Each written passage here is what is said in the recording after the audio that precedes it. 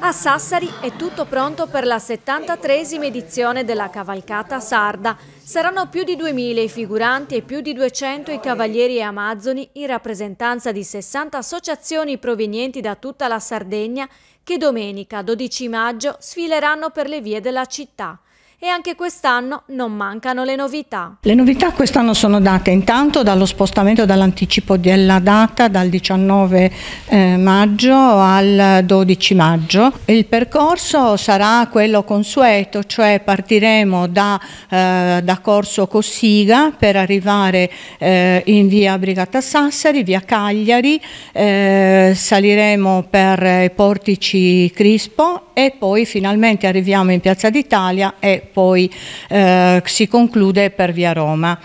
Nell'edizione 2024 ritorneranno nel pomeriggio della domenica, dopo un lungo stop, le tanto attese e apprezzate pariglie. I cancelli dell'ippodromo saranno aperti dalla mattina per l'accoglienza dei cavalli che si prevedono circa 250 eh, per poi portare avanti tutta la giornata perché eh, tradizione è che all'ippodromo dopo la sfilata tutti i manifestanti, i cavalieri, amazzoni e via dicendo eh, rimangano lì per pranzo per poi dare il via allo, allo spettacolo. Il sabato che precede l'evento invece sarà l'occasione per accendere i riflettori sugli artisti più rappresentativi della musica e dello spettacolo isolano. Momento musicale che abbiamo visto l'anno scorso ha avuto molto successo ma contiamo di replicarlo forse anche con maggiore intensità rispetto, rispetto all'anno scorso.